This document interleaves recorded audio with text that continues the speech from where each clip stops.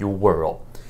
So you see, this x and the x cancel, very nice, and we have 2 over 3, so let's put that outside of the integral.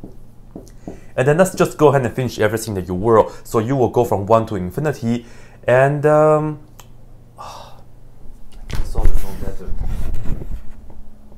Dear calculus students, this integral is an example that if you don't know what to do, then just go ahead and do a u sub.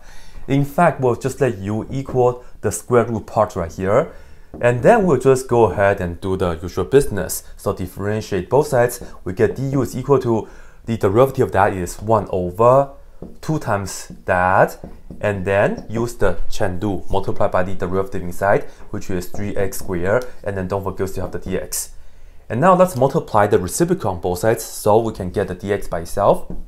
And we'll just have 2 square root of x to the power minus 1 over 3x squared. And then here we have the du. And now let's take this integral to the u world, including this and that.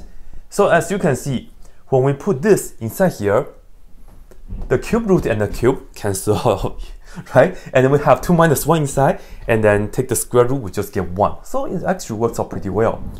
And then when we put infinity here, we just get infinity. So u goes from 1 to infinity.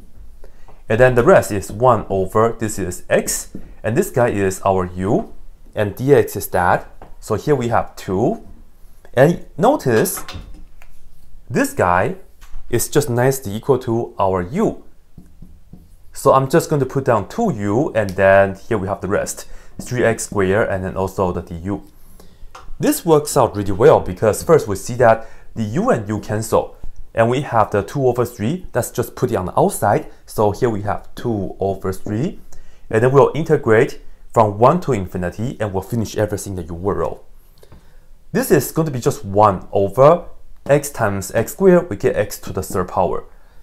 Hmm, so what do we do next? Shall we just put natural log of x to the third power? No, don't do that. Shall we write x to the third power as x to the negative 3 power? Don't do that either. Why? Because we are in the u world. So do not integrate this as a x to the negative 3 power. Don't do that. What we really have to do is take a look at this right here. Let's go ahead and square both sides so we can see u squared is equal to x to the third power minus 1 and then add 1 on both sides. So x to the third power is equal to u squared plus 1. Aha! So this guy, it has to be replaced by that. So ladies and gentlemen, this right here is going to be 2 over 3 integral from 1 to infinity of 1 over, that is u squared plus 1. And then we are in the u world.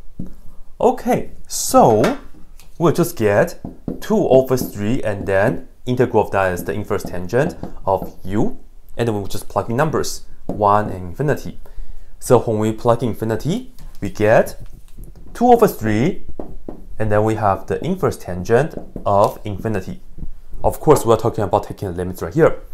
And then we are going to minus the second part is 2 over 3 times the inverse tangent of 1. So that's not so bad because we actually know that and we actually know this.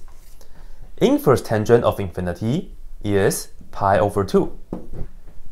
And this right here, inverse tangent of 1, is pi over 4. So let's just go ahead and work out the fractions and things like that. So in fact, you see that this 2 and that 2 cancel. So the first part is pi over 3. And then the next part, reduce this, reduce that, so we have pi over 6. So we minus pi over 6. And then in the end, we can just get the common denominator, multiply this by 2, and you see 2 pi minus pi is pi. And then, of course, the denominator is 6. And then we are done. So this is how you deal with that integral.